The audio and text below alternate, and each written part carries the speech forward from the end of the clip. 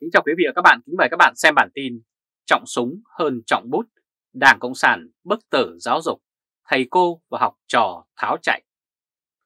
Theo nghị quyết số 70-2022 của Quốc hội 15 tại Quốc hội Việt Nam ban hành vào ngày 11 tháng 11, thì ngân sách cho Bộ Công an là 99.953 tỷ đồng, tương đương 14,2 tỷ đô la Mỹ, chi cho Bộ Giáo dục chỉ có 6.255 tỷ đồng, tương đương với 260 triệu đô la Mỹ, tức là chi cho công an gấp 16 lần chi cho giáo dục.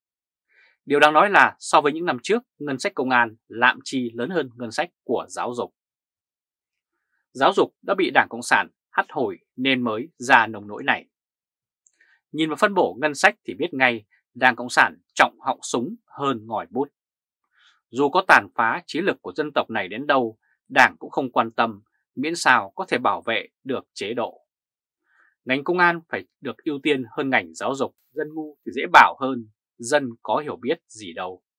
Việc ngu dân hóa không phải là để dân thất học, mà là cho người dân nhiễm một nền giáo dục công cụ, làm sao để người dân dù học cao đến mấy cũng là con người phục tùng, chứ không phải là con người có tư duy độc lập. Việc áp dụng một nền giáo dục tệ hại như thế sẽ giết chết sự sáng tạo của con người.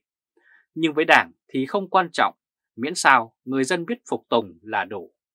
Những người này tìm tòi sáng tạo đôi khi lại là những kẻ khó bảo đối với chế độ.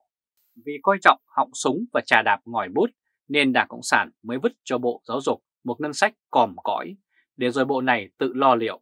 Với ngân sách chỉ có 6.255 tỷ đồng cho cả một bộ, thì không biết bộ này lấy đâu ra ngân sách để mà xây trường và xây lớp để phục vụ cho giáo dục toàn dân đây. Trong khi thế giới tiến đến giảm chi phí giáo dục cho dân và dần dần đi tới hỗ trợ giáo dục thì chính quyền của Đảng Cộng sản đã đẩy nền giáo dục vào thế phải móc túi phụ huynh.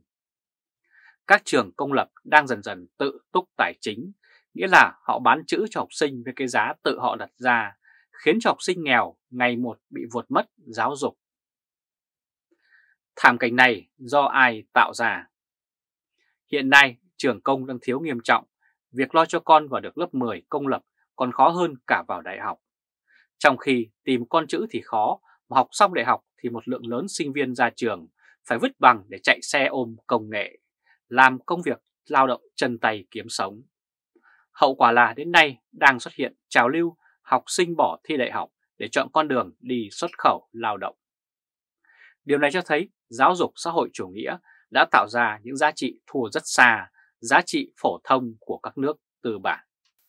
Việc Bộ Công an nhận được ngân sách hàng năm lên tới 4,2 tỷ đô la đã tạo cho ngành này một môi trường ngập ngụa trong tiền bạc, làm cho công an dễ giàu bởi nếu không bảo kê cho tội phạm để kiếm tiền thì cũng có rất nhiều dự án vô bổ để mà sơ múi. Trong khi đó, với ngân sách chết đói 260 triệu đô la Mỹ thì giáo viên không thể sống nổi bằng lương. Điều này khiến cho học sinh nộp đơn thi vào các trường thuộc ngành công an rất đông, nhưng người nộp đơn thi vào ngành sư phạm lại thừa thớt. Rất nhiều người vì đã lỡ bước chân vào ngành sư phạm và đang làm giáo viên thì phải hoặc phải chịu sống kiếp nghèo khó hoặc vứt bỏ nghề để đi xuất khẩu lao động thì còn có tương lai hơn. Ngành giáo dục đã bị chính quyền hắt hổi thì tất nhiên cả giáo viên lẫn học sinh phải tháo chạy mà thôi. Đâu chỉ là giáo viên mà học sinh cũng đã phải tháo chạy. Vào ngày 24 tháng 7, báo Việt Nam Net có bài viết Giáo viên giỏi bỏ nghề đi xuất khẩu lao động mong đổi đời.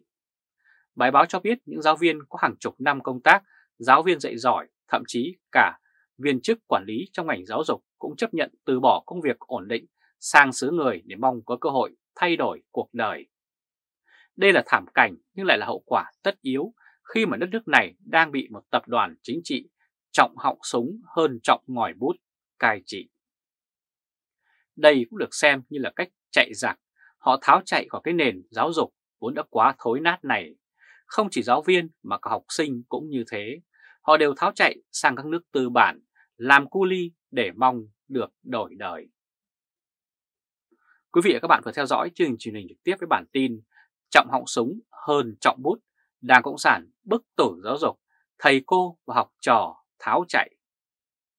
Quý vị và các bạn hãy chia sẻ video này cho nhiều người biết và bấm nút theo dõi YouTube và Facebook của Thời báo .de để luôn được cập nhật những bản tin mới nhất, nhanh nhất và trung thực nhất. Từ Berlin, Cộng hòa Liên bang Đức chào các bạn và hẹn gặp lại các bạn ở bản tin lần tới. Trung Khoa, Thời báo, chấm đề.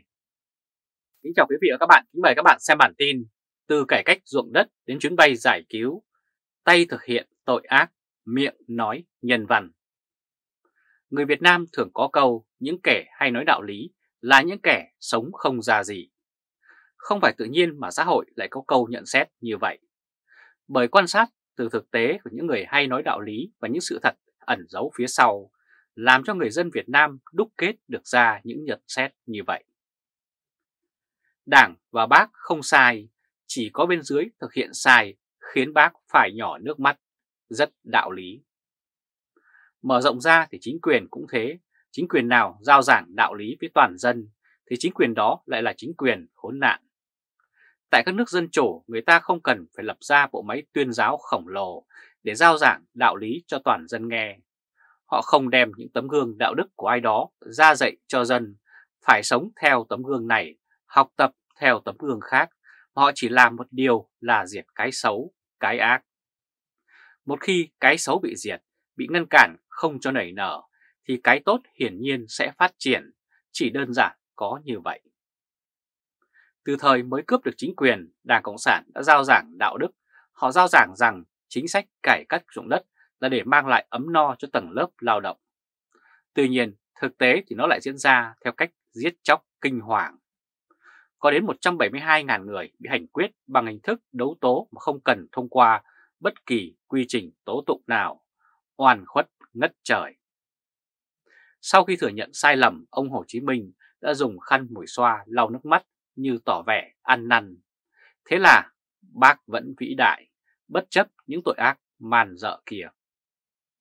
Chiến dịch giết người quy mô này của Đảng Cộng sản đổ lỗi cho thành phần bên dưới. Họ tuyên truyền rằng do bên dưới thực hiện sai, chứ còn chủ trương của Đảng là rất nhân văn. Nhân văn mà cho phép người hành quyết người dân bằng những phương pháp cực kỳ man dợ, sau khi tổ chức đấu tố mà không qua bất kỳ quy trình tố tụng nào. Thật là kinh hoàng, thật không còn tính người. Tham nhũng, chính sách và gây tội ác nhưng đảng vẫn ra giả, đạo lý. Bản chất là bản chất, chế độ này không bao giờ thay đổi được.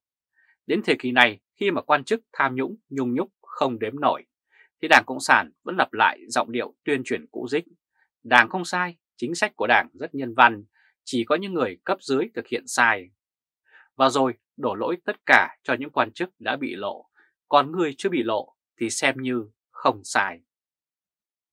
Đảng không sai mà đảng sinh ra hàng loạt quan chức làm sai đến như vậy. Những chính sách mang lại cái đói khủng khiếp cho toàn dân sau năm 1975 là đúng hay sao? Mô hình kinh tế quan liêu bao cấp là đúng hay sao?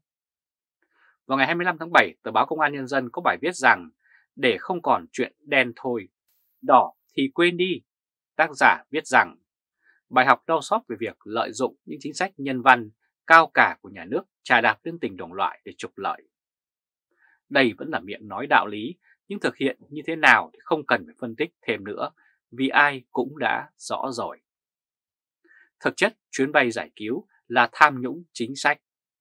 Khi mà những người đại diện cho nhà nước ở tầng lớp cao tạo ra những chính sách có lợi cho họ và nhóm lợi ích sân sau của họ. Đấy là những chùm cuối. Tất nhiên, để che đậy mục đích trục lợi thì phải khoác lên mình những chính sách có một ý nghĩa nhân văn nào đấy. Bản chất của những kẻ xấu xa là hay nói đạo lý, bởi những lời nói đạo lý là tấm màn che đi những toàn tính bẩn thỉu phía sau. Người Cộng sản rất hay nói đạo lý. Trước đây, khi thực hiện chính sách cải cách ruộng đất, mục đích của ông Hồ Chí Minh là loại bỏ thành phần có học, có tài sản bởi thời đó chỉ có con nhà giàu mới được học hành, còn thành phần bần cố nông là mù chữ.